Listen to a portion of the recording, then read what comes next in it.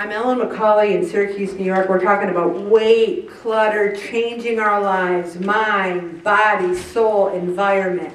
Crash dieting doesn't work, neither does crash organizing. I could put all 50 or 60 bins on the curb or recycle it, whatever. I think it would be traumatizing for me. Besides, the deed to the house might be in one of those bins. I think there might be important stuff in there. So the thing is, is that going to work? Or do I need a method? Both weight loss and organization require permanent changes in your habits and routines. One thing that helped me is my kids did graduate from college and high school, all but one, and the papers and things and report cards started getting less and less. So I didn't have to worry about keeping those up. Plus, people send emails, so I get less and less letters, so I didn't have to save them. But a moment on the lips, a lifetime on the hips. We all hear that. But how about you go to a trade show and they're giving away free pens. And you come home with a shopping bag with 50 pens. You got more pens than years you're going to live, probably, but you're there swiping that free stuff. It's free. I have trouble with free. Does anyone have trouble with free? I have trouble with waste they were going to throw away. I told you, like 500 pens because they did the wrong phone number. And I'm like, I'll take the pens. Here's one of them right here. The thing is, we need to control it. And I love this. Here are examples of places that are cl the clutter calorie equivalent of going to Krispy Kreme. Garage sales, flea markets, souvenir shops, discount stores, used bookstores, and shoe stores. Or my favorite places.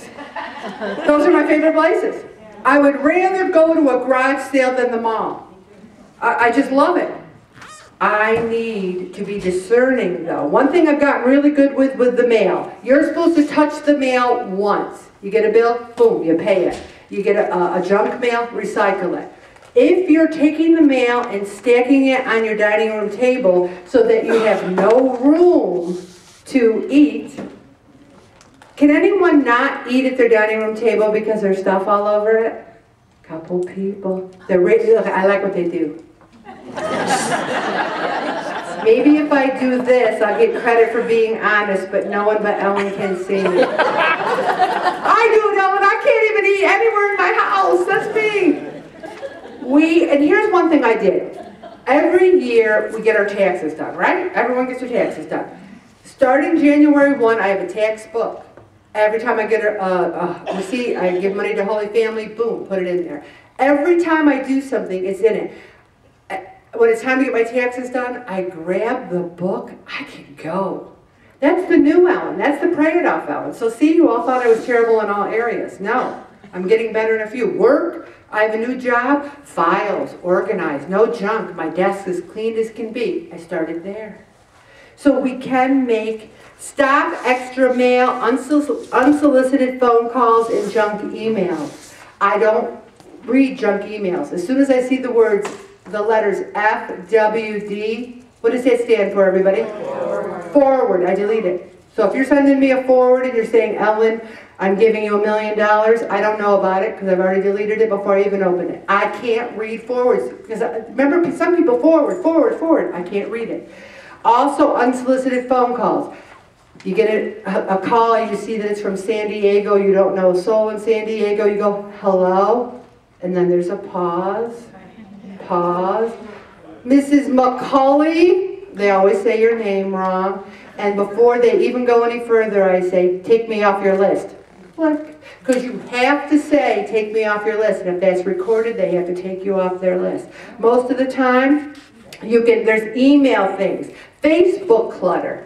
You know, I like to see pictures of people's grandchildren and things, but do you ever notice how much time you can waste trolling through Facebook, looking at everything, all the cartoons, all the videos? I don't do that.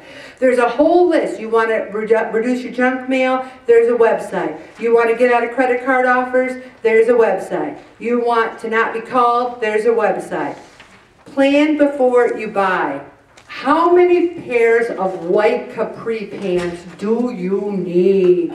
If you have more than three pairs of white capri pants, you have too many. Now, my sister, who doesn't keep the papers from her kids growing up, has 17 pairs of white capri pants. So you see, we all have issues. They just manifest themselves differently. Think before you buy.